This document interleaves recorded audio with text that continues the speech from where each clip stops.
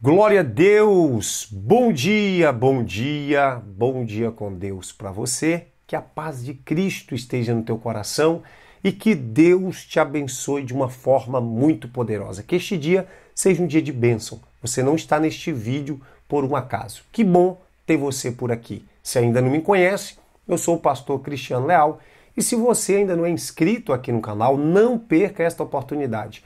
Abaixo desse vídeo aqui tem um botão de inscreva-se. Clique aí e clique no sininho. Todos os dias você vai receber algo novo da parte de Deus. Antes de orar, eu quero te entregar esta palavra. Josué, capítulo 1, verso 9 diz assim: Não fui eu que ordenei a você? Seja forte e corajoso. Não temas e nem desanime, pois o Senhor, o seu Deus, estará com você por onde quer que você andar. Meu amado e minha amada, preste atenção, olhe nos meus olhos. Eu quero te entregar algo muito fervoroso da parte de Deus. Ser forte e corajoso não é uma questão de escolha, é uma questão de necessidade. Vai além de escolha. Claro que você precisa escolher, mas é uma necessidade. Nós precisamos entender esta necessidade de ser forte, de suportar certas coisas, de suportar certas afrontas, de corajoso, de ser corajoso, de enfrentar, de avançar, de crer. Sabe, existem coisas que ainda não aconteceram na sua vida porque você não teve coragem de avançar. Para Pedro é, experimentar o sobrenatural de andar sobre as águas, ele teve que ter coragem de sair do barco.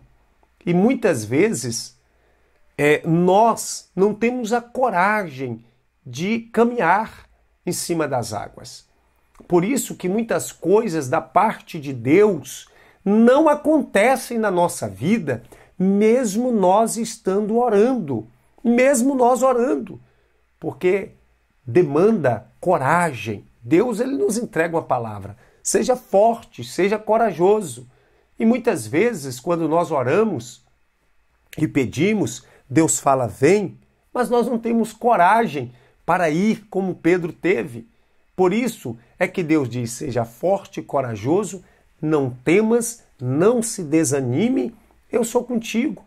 A presença de Deus é o suficiente para não desanimarmos, para não temermos, para termos coragem e para sermos fortes. Receba esta palavra poderosa no teu coração. E eu quero que você clique aqui no joinha e escreva nos comentários e verbalize. Ser forte e corajoso. Uma necessidade. Verbalize isso em nome de Jesus. Põe a mão no teu coração, feche os teus olhos e vamos orar. Pai querido, Deus, eu quero orar nesse instante. Orar juntamente com este homem, orar juntamente com esta mulher. Ó Deus, o Senhor nos fala na tua palavra a respeito de sermos fortes, de sermos corajosos, corajosos. Ó Deus, eu libero esta palavra no coração deste homem, eu libero esta palavra no coração desta mulher, repreendo a seta de desânimo, repreendo a seta do medo, repreendo a seta do pânico, repreendo, Senhor, o desespero, repreendo a seta do inimigo e que o Senhor, Pai, possa fazer com que este homem levante a cabeça, possa fazer com que esta mulher levante a cabeça. Meu Deus, opera agora em favor deste homem, opera agora em favor desta mulher. Senhor, que este dia seja um dia, meu Deus, de encarar as adversidades com força, com coragem, com fé, com determinação. Meu Deus, manifesta o teu poder e a tua unção,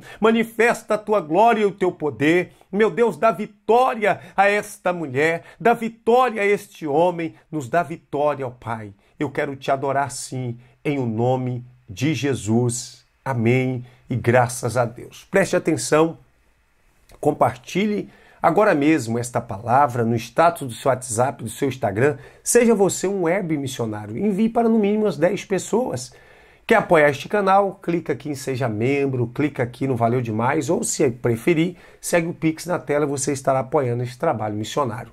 Deus te abençoe, um forte abraço e até amanhã.